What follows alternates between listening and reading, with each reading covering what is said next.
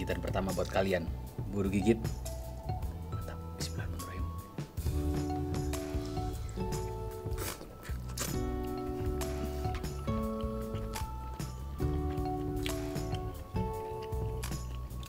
Hmm.